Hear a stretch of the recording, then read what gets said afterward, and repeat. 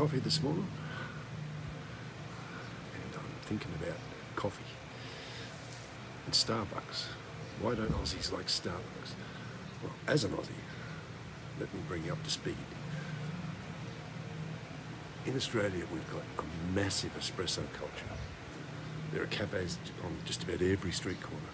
More cafes in Australia than there are sari sari stores here.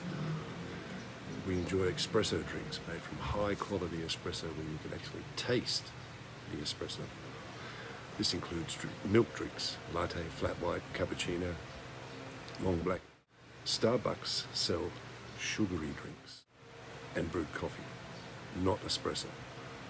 A long time ago, I think it was about 2001, Starbucks used to sell reasonable espresso drinks, but they stopped doing that when they swapped out their La Marzocco espresso machines to Verismo automatics. I have no idea if this was a good move, a good business decision, business decision, but it forced them out of the espresso market in Australia. They probably got confused with their initial success and potential growth in Australia by not understanding their customer base in the early days. Starbucks was, and always will be, an international phenomenon. It's a success. Here in the Philippines, they're, everywhere. They're in every mall. But in Australia, they're only in the capital cities, where the international tourists go. So under normal circumstances, um, these tourists will flock to Starbucks outlets for their familiar sugary drinks that they love back home. I have tried Starbucks, and it's a brewed coffee,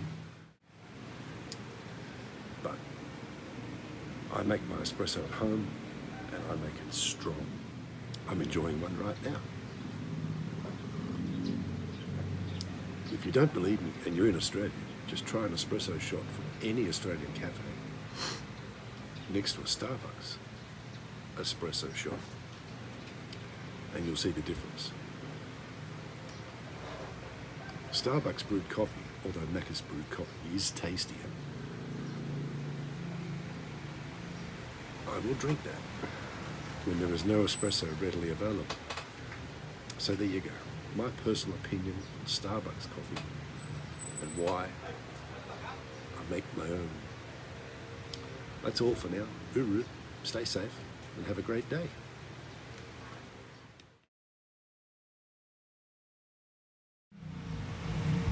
Oh, before I go, there's one thing I forgot.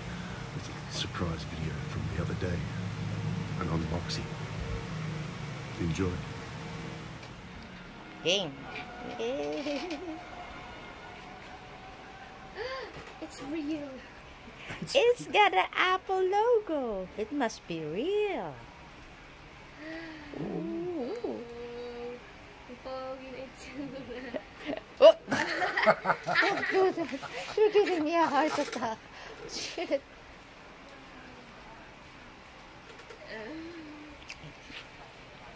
Up close and personal. iPhone 12 Pro Max. Pro Max. Oh, yes. To the next level. Hello. Yeah. They don't give you much these days. A charging cable. What's that? This, this will be the SIM ejector. Oh, so that's why you got the the charging Yeah, that's whatever. The, that's the SIM ejector. Uh-huh. You don't get a charger anymore. Really? Not even a free set of earphones. No, no, there's no headphone jack. Kaya, kaya nga AirPods Ah, yung that's why you got that Yeah. thing. Because if you want headphones, you've got to get the Apple Bluetooth earpods, I and they're 300 bucks each. 300 pesos? 300 bucks. Pesos? No, Uh-uh. Australian dollars. American dollars, sorry. 300 American dollars each. Shit. Okay. Dollar. Dollar. For a pair. Mm-hmm. And they're not that good. But they're okay. Baby girl, Hello. go back to the store. So Marshall, this is why I bought the cart before the horse. Yes. Now you can try what, it. What did Marshall say? It's like buying what? I forgot it. Mm. He it's somewhere in there. Oh, I hope it's not the one that I threw away. That's it. It's even that, like a little cable this long, Mm. 590 pesos, because it's, it's got that. It's got that piece of fruit logo on it. Goodness.